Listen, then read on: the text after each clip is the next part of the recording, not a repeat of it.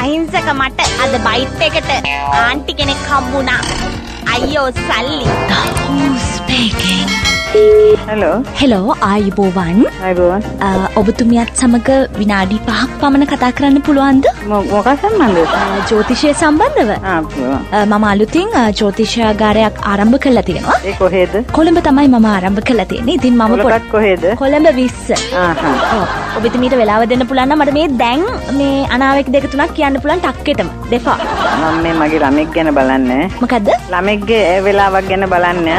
හරි හරි Sí. අගෝස්තු මාසේ 29 වෙනිදා ගෑද පීද. ඒ කියන්නේ ගෑන් ළමෙක්ද පිරිමි ළමෙක් ගෑන් ළමෙක්. වෙලාව ඇවිල්ලා 5:55ට පහයි පනස් පහට කොහෙදිද උපත ලැබුවේ? උත්තර ලැබුවේ ශ්‍රී ලංකාවේදී. ඔව් ශ්‍රී ලංකාවේ ආහා. දැන් මට මේ වෙලාව බලපු ගමන් ඔබතුමීට ටක්කෙට අනාවැකියක් කියන්න පුළුවන්. මේ ළමයාගේ වයස මට කියන්න පුළුවන් දැන්. අවුරුදු කීයද? අවුරුදු 38ක් වෙනවා. මං හරිද? හරි හරි. ඒකනේ මං කිව්වේ නෝන. ආයි ඉතින් සාස්තරයට බොරු බෑ. ටක්කෙට කිව්වා. මම මෙයාගේ පොඩක් ගති ලක්ෂණ ටිකක් කියන්න ආ. කාත් එක්කවත් යාළු වෙන්නත් එච්චර ලොකු මේකක් නෑ නෑ විනෝදකාමී. නෝද කාමි මේ දරුවට කාත් එක්ක හරි යාළු වෙනවා කියන්නේ නයාට අඳුකොල්ල වාගේ. දෙමව්පියෝ දරුවාට මොකක් හරි විවාහ කටයුත්තක් ගැන කතා කරද්දී ඇය කෝපයටපත් වෙනවා. ආ අනේ අම්මේ මට මේවා හොයන්න එපා කියලා කියනවා. මං හරිද? හරි හරි. මෙයන්ට රට යාමක් තියනවද? තියනවා තියනවා තියනවා.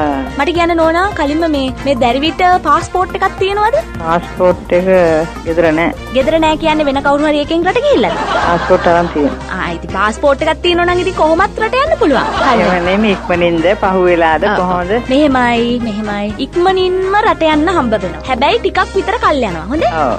එතකොට ම- මෙයාගේ ලක්නේ මට කියන්න පුළුවන්ද? මෙයාගේ ලග්නේ කටක. කටක් ලක්නේද ඇයි මොකද්ද ලග්නේ දීලා තියෙන්නේ? කියලා තියෙන්නේ කුඹ.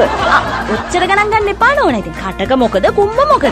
ඒකත් එමය මෙයාට මේ මොනවාද මේ කටක ලක්නෙට මේ මෙයාට අකුරු මොනවද හොඳ නමට? මේ දැරිවිගේ දැන්ද නම දාන්නේ? ඈ මට නම වෙනස් කරන්න හිටන් හිතලා තියෙනවා. කටක ලක්නේ කිව්වම මොනවාද අකුරු හොඳ? දැන්ට තියෙන නම මොකක්ද? දැන්ට තියෙන්නේ සුරංගි සුරංගිකා. ඩයන වගේ නමක් කොහොමද?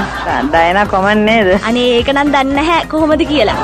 ඩයන්න තමයි හොඳ. දණ්ඩි නේ දැන් ඩයන්නෙන් පටන් ගන්න මේ මේ කේන්දරය අනුව බොහොම හොඳ නමක් තියෙන ඩල්සි කියලා. නෑ සුයන්න හොඳයිද? දැන් සුරංගිකානේ කයන්න කයන්න සුරංගිකා කියනවා. කා කියනකොට අර නිකන් අපි කතා කරනකොටත් කියන්නේ නිකන් කා ගත්තු ගමන්. ඔව් කයන්න ඒ හින්දා කයන්න කයන්න උනාන සුරංගි කෑ. එහෙම වගේ එකක් වාඩි මේක දැන් මෙයාට හදනවා නම් කොහොමද වෙ නම? සුරංගි කෑ කිව්වනම් හරිනේ මොකද සුරංගි කෑ පුළුවන් නම් භාවිතා කරන්න ගොඩක් සුබ වේ. ඔව්. අ, පුළුවන් නම් මෙයාට ඩ සුරංගි කෑ කියලා මොකක් හරි ඩයන්නක්. මේ දාගන්න පුළුවන්කම තියෙනවා. ඩෑ සුරංගි කෑ. සුරංගි දෑ සුරංගි ඩෑ. එහෙනම් සුරංගි ඩෑ. නෑ මං කියන්නේ ඩයන්නක් දාන්න ති- පුළුවන් නම් කිරි ගහට ඇන්නා වාගේ සුබයි. කොහොමද දෑ දාන්නේ නේ හරි ඊට පස්සේ තියෙන නම මොනවාද? කුමාරි කුමාරි කියන එක බොහොම හොඳ නමක්. කුමාරි කියන එකට ඩයන්න බෑ කුමාරි කියන එක තියන්න කුමාරි කියන එකට අතවත් තියන්න එපා. ආ. කරුණාකර කුමාරි කියන එකට අතවත් තියන්න එපා. මම කේන්ති ගස්සන්න එපා. ඔය නම වෙනස් කළා හොඳේ? හරිද? හරි හරි කාටද කැස්ස? මට. සෝරි කහින් කහින් කමන්න කමන්න. සෝරි නෑ නෑ කමන්නේ කහින් කහින්. හරි හරි ඉවරද? ඕනම් ඔබතුමිට ඩල්සි, ඩයනා, ඩැන්ඩා, ඒ කියන්නේ ඩැන්ඩා කියලා වෙලාවකට කතා කළාට කමන්නේ නෑ ළමයාට. ආ දැන්ඩ කියලා ඩැන්ඩා කියලා නිකන් අපි හුරතලයට ගෙවල් වලට නම් කියන්නේ. බච්චා, චුච්චු. ටකේෂි, ඈ චුයින්ගම් ගගා එහෙම නම් දාලා තියෙන්නේ. දැන්ඩ කියලා කතා කරා ඩැන්ඩා කියලා කිව්වට කමන්නේ නැත්නම් ඩින්ඩින්. ආ ඩින්ඩි ඩින්ඩින් කියලා කතා කරන එක ආ. ඩැන්ඩන් ඒකටත් වඩා ප්‍රබලයි. ඩින්ඩින් ඩින්ඩින්. හැබැයි හොඳට උච්චාරණය කරන්න. ඩින්ඩින්, දුව ඩින්ඩින්. ආ, ඩින් ඩින් ඩින්. එතෙන් ඩින් ඩින් එනකොට මේ අල්ලා යන්න නෙමේ බිඳුව අන්න හරි. දුව ඩින් ඩින් හරිද? එතකොට ඔයාලට පුළුවන් ඩැන් ඩැන් එක ඩින්ඩින් එක. ඔව් ඒවා ඒක එහෙම කියන්න බෑ මේක නම් හොඳයි ඩින් ඩින් ඩින්ඩින් හොඳයිනේ. ඔව් කියලා. ආ බෑනේ ඒවා අමාරු ඒක අමාරුනේ. ඒක හුස්ම හිර වෙයි ඒක කියන්නේ කිව්වා. අනේ ආන්ටි තව නම් බෑ. ආන්ටි අපි හිරු වැස්සන් එකෙන්. අයියෝ